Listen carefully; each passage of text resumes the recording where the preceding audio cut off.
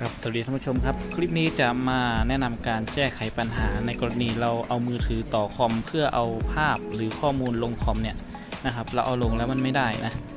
นะครับในการที่เราจะเชื่อมต่อเอามือถือต่อเข้าคอมนะก็จะมีอันแรกเลยคือสายนะครับ สายโทรศัพท์สายชาร์จนะนะครับก็เสียบจากโทรศัพท์เข้าที่คอมเลยเป็นลักษณะ USB นะครับที่เรา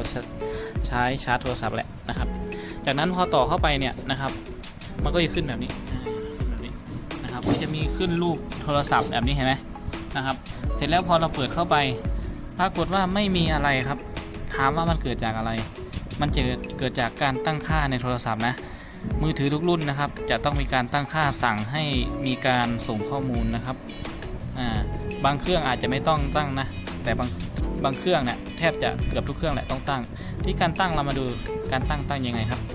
มาดูที่โทรศัพท์นะครับ ก็ปลดล็อกอะไรให้เรียบร้อยนะครับ จากนั้นเมื่อเราเสียบสายเข้าไปนะครับ ให้เราเลื่อนหน้าจอลงแบบนี้นะครับ มันจะมีคำว่าการเชื่อมต่อที่เป็นลักษณะ USB แบบนี้เห็นไหมนะครับ ตอนนี้พอเราเสียบเข้าไปปกติเนี่ย มันจะเป็นลักษณะการชาร์จนะครับ ให้เรากดเข้าไปครับทีนี้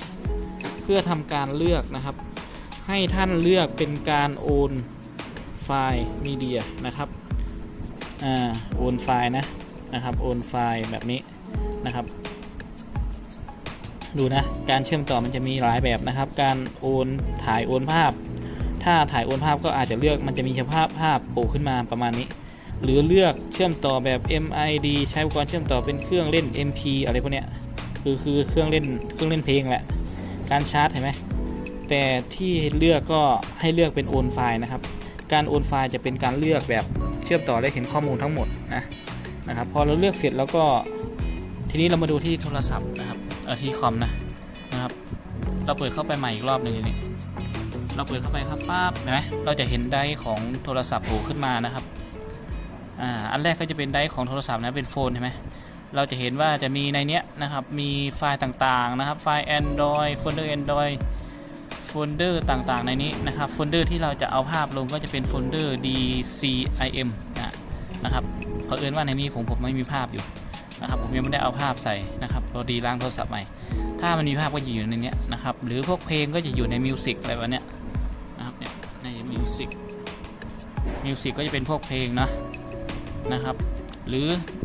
เราดาวน์โหลดอะไรมา มันก็อยู่ในดาวน์โหลดตัวเนี้ยนะครับเนี่ยนะครับในนี้เผอิญว่าผมเพิ่งล้างโทรศัพท์มันก็เลยไม่ขึ้นนะครับ ส่วนการ์ดอ่าการ์ดก็จะเหมือนกันครับมีโฟลเดอร์โผล่ขึ้นมานะครับการ์ดก็คือ memory นะที่เราเสียบเข้าไป ตอนนี้ผมใส่ memory 16กิ๊กเข้าไปนะครับ เนี่ยพอเราเจอเราถ่ายภาพถ้าเราตั้งค่าใส่ใส่เมมโมรีการ์ดภาพจะอยู่ในนี้นะ อ่า ก็เปิดเข้าไปดูนะครับโฟลเดอร์เหมือนกันนะครับ DCIM เหมือนกัน อ่า โอเคครับ อันนี้ก็เป็นการแก้ไขปัญหาในกรณีที่เราเอามือถือต่อเข้าคอมแล้วมันไม่เชื่อมต่อหรือมันเชื่อมต่อแล้วมันมองไม่เห็นนะครับ